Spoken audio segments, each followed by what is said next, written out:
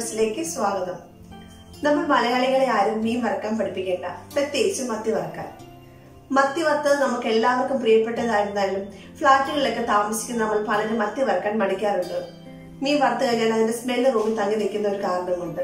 അപ്പം അതിന് പരിഹാരമായിട്ടുള്ള ടിപ്സുമായിട്ടാണ് ഞാൻ വന്നിരിക്കുന്നത്.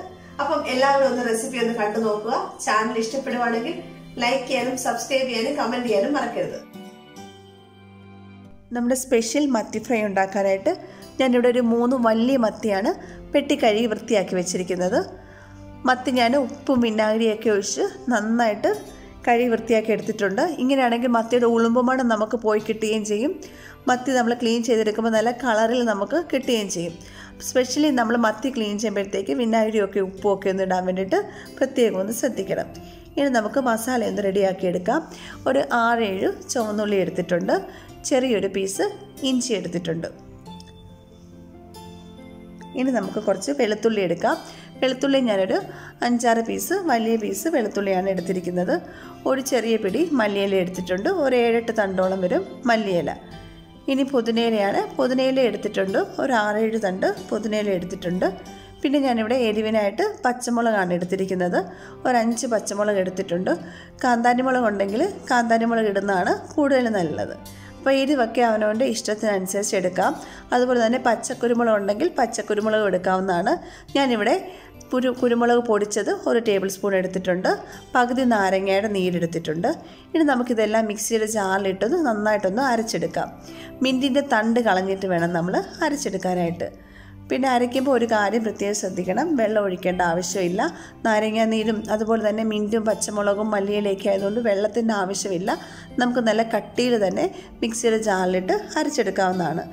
അരച്ചതിന് ശേഷം ഉപ്പും പുളിയൊക്കെ നോക്കുക. ഉപ്പൊക്കെ കുറവാണെങ്കിൽ നമുക്ക് കുറച്ചുകൂടെ ഉപ്പൊക്കെ ചേർത്ത് കൊടുക്കാവുന്നതാണ്.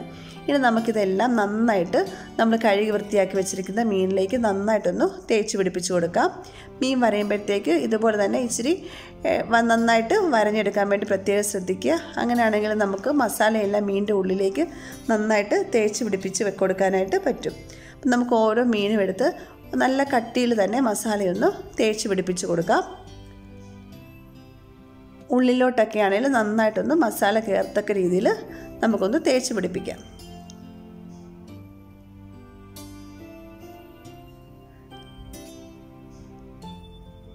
ഇപ്പം ഞാൻ ഏകദേശം മൂന്ന് മീനിലും നന്നായിട്ട് മസാലയൊക്കെ നല്ല തിക്കായിട്ട് തന്നെയാണ് തേച്ച് പിടിപ്പിച്ച് കൊടുത്തിരിക്കുന്നത്. ഇനി നമുക്ക് ഉടനെ ഫ്രൈ ചെയ്യേണ്ട ഒരു അരമണിക്കൂറേലും ഒന്ന് മസാലയൊന്ന് തേച്ച് പിടിപ്പിച്ച് വെച്ചതിന് ശേഷം ഫ്രൈ ചെയ്തെടുക്കാം. ഇപ്പോൾ അരമണിക്കൂർ കഴിഞ്ഞ് മസാലയൊക്കെ മീനിലേക്ക് നന്നായിട്ട് പിടിച്ചിട്ടുണ്ട്. നമുക്കിനി ഇതൊന്ന് ഫ്രൈ ചെയ്തെടുക്കാം. ഞാനിവിടെ ഒരു പാൻ അടുപ്പത്ത് വെച്ച് ചൂടാക്കിയിരിക്കുകയാണ്. ചൂടായ പാനിലേക്ക് ഒരു രണ്ട് ടേബിൾ സ്പൂണ് വെളിച്ചെണ്ണയാണ് ഒഴിച്ചു കൊടുത്തിരിക്കുന്നത്.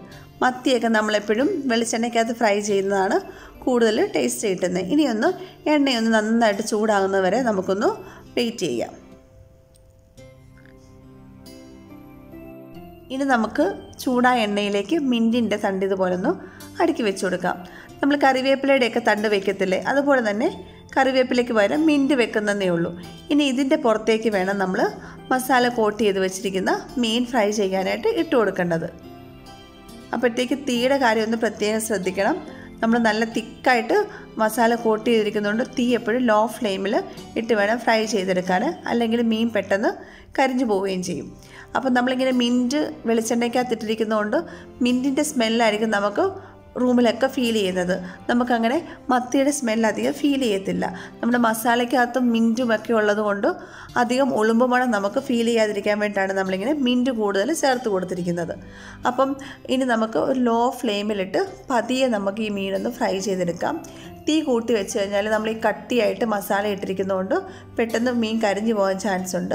അപ്പം നമുക്ക് പതിയെ ഇതൊന്ന് ഫ്രൈ ചെയ്തെടുക്കാം. സാധാരണ മീൻ ഫ്രൈ ചെയ്യുന്ന പോലെ തന്നെ ഒരു സൈഡ് നന്നായിട്ട് മൂത്തതിന് ശേഷം നമുക്ക് തിരിച്ചിട്ട് കൊടുക്കാം. ലോ ഫ്ലെയിമിൽ തന്നെ ഇട്ട് അടുത്ത സൈഡിലൂടെ ഒന്ന് നമുക്കൊന്ന് ഫ്രൈ ചെയ്തെടുക്കാം. നമ്മൾ കട്ടിയിൽ മസാല തേച്ചുകൊണ്ട് ഫ്രൈ ചെയ്തെടുക്കാനായിട്ട് കുറച്ച് സമയം എടുക്കും. അപ്പോൾ നമുക്ക് തീ ഒന്നും കൂട്ടരുത്. തീ കൂട്ടിക്കഴിഞ്ഞാൽ മസാല കരിഞ്ഞു പോവുകയും ചെയ്യും. അതുകൊണ്ട് നമുക്ക് പതിയൊന്ന് ഫ്രൈ ചെയ്തെടുക്കാം.